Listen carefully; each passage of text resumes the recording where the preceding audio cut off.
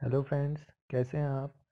आज मैं आपको बताऊँगा कि पबजी में अपने रॉयल पास के पॉइंट्स कैसे इंक्रीज़ करते हैं।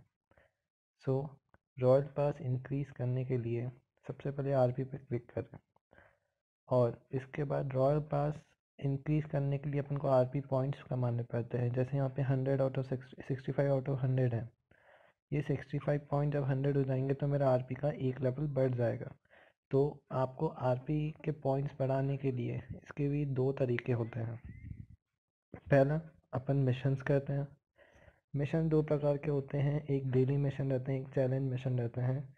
चैलेंज डेली मिशन अपने रोज़ आते हैं मतलब आप उन्हें जो लिखा है वो करिए और आपको पॉइंट्स मिलते हैं।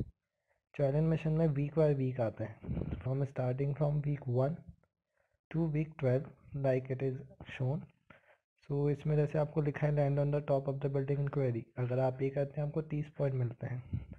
तो ऐसे आप इंक्रीज़ कर सकते हैं अपने सारे मिशन करने के लिए। तो इससे आपकी आर पी लेवल भी इंक्रीज़ होगी।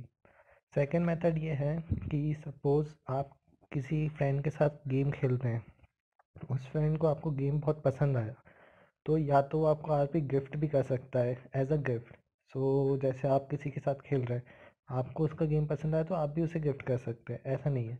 और फिर उसके बाद आप उन्हें रिक्वेस्ट भी कर सकते हैं। जैसे आपका कोई फ्रेंड है, आप उन्हें रिक्वेस्ट करिए कि मुझे इतने आर पी दे दीजिए या ऐसा कुछ कर दीजिए। तो आप ऐसे अगर उनसे बोलेंगे रिक्वेस्ट करेंगे तो ऐसे भी आपकी आर पी इंक्रीज़ हो सकती है। और जैसा कि आप ग्लोबली खेलते हैं, बहुत से लोग को आपका गेम अच्छा लगता है तो दे विल गिव वो अपने आप दे देते हैं आर पी आपको और आप उन्हें रिक्वेस्ट भी कर सकते हैं। फिर जैसे यहाँ पे ये क्रेट्स रहते हैं ये जैसे इसमें लिखा है, ये क्रिएट अगर मेरा कंप्लीट हो जाएगा तो मुझे सौ आर मिलेगी। तो इन क्रिएट के लिए भी अपन को दस मिशन करने पड़ते हैं। जो मिशन है, वो यही हैं और जैसे आप कर लेंगे तो क्रिएट के अंदर से सौ आर आपको मिल जाएगी। ऐसा।